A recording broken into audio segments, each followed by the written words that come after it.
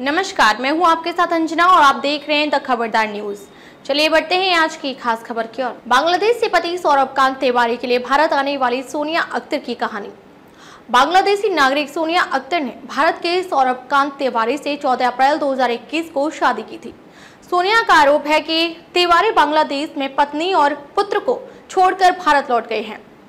अब अपने पति को दोबारा पाने के लिए सोनिया ने भारत में पुलिस से मदद की गुहार लगाई है। सौरभ कांत तिवारी ने बीबीसी बांग्ला को बताया कि वे वर्ष 2017 से एक बिजली कंपनी के ढाका दफ्तर में काम करते थे। उसी दौरान सोनिया से उनका परिचय हुआ था। फ़िलहाल सोनिया और सौरभ के बीच आरोप प्रत्यारोप का दौर चल रहा है।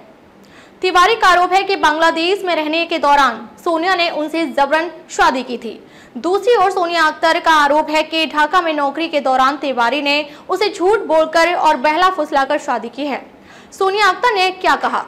सोनिया अख्तर के वकील ने बीबीसी को उस दंपति और उनके बच्चे की कई तस्वीरें भेजी हैं।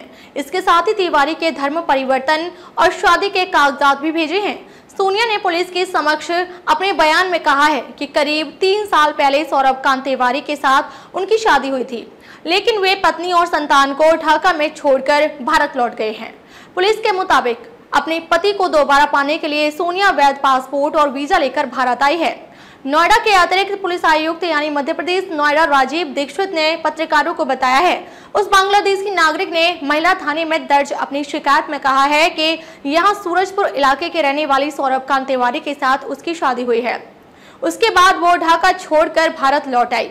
महिला के मुताबिक पहले ही तिवारी की शादी हो चुकी थी।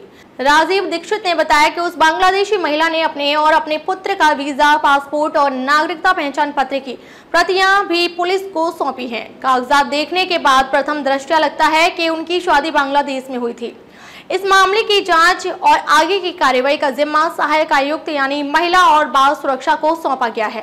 बीबीसी बांग्ला ने सोनिया अख्तर के वकील और सौरभ कांत तिवारी से बात की है। मुझे फंसाया गया है।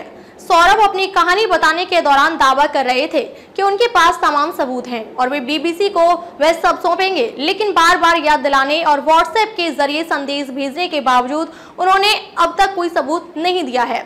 तिवारी ने सोनिया अख्तर और उसके परिवार के खिलाफ कई आरोप लगाए हैं। वे आरोप लगाते हैं, मेरा धर्म परिवर्तन कर जबरन शादी कराई गई है। सोनिया और उसके परिवार ने मुझसे लाखों रुपए लिए हैं।